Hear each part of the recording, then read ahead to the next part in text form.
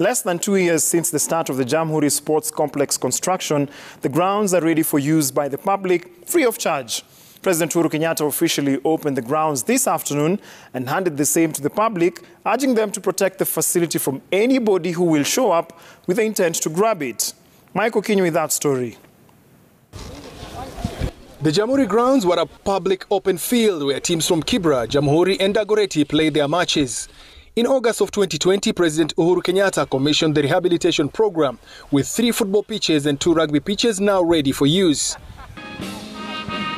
At 4 p.m. in the afternoon, President Kenyatta arrived at the grounds for the official opening. He first signed the visitors' book before unveiling the plaque. Teams from Kibra and Dagoretti played exhibition football matches against the national team Harambee Stars legends. President Kenyatta was a spectator in all the matches before moving to the rugby pitch where the national seven-a-side rugby teams were training in one of the pitches. Sports Cabinet Secretary Ambassador Amina Mohammed says as much as the public is allowed to use the fields free of charge, priority will be given to the national teams for training if they choose to train there. We'll have arrangements in place uh, so that um, you know we can make sure that we accommodate um, you know everybody. Uh. There are some that uh, want to come and uh, you know have their league matches here, uh, but there are those that just want to come and uh, you know explore whether they have talent. you know the very young men and women from the um, from the areas around here, and and we want to make sure that everybody has an opportunity. President Uhuru Kenyatta went down memory lane to the days this was an open and dusty field. He said those who have attempted to grab the 79 acres piece of land should not be allowed anywhere near the public facility.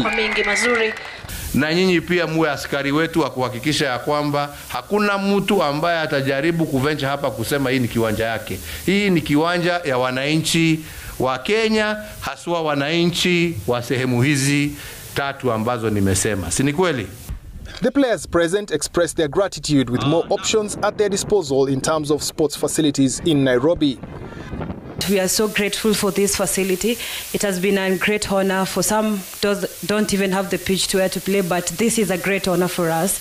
We are so thankful for that. Mine is just to thank you because of what I have seen and what has I have seen as a legend because in our times we never had such a sports facility before. So we thank you for giving us this great sports facility that we have today. The sports complex already has food courts, a children's playing ground, picnic facilities and a 3.5 kilometer running track. The Jamhuri Sports Complex is part of CS Ambassador Amina Mohammed and President Uhuru Kenyatta's legacy program. But this complex is only 50% complete. Tuko na netball itakuwa hapa, tuko na basketball ambayo itakuwa hapa, tuko na running track hapa ya zaidi ya about 1.4 kilomita, tuko na jogging track ambayo inatembea hii msitu.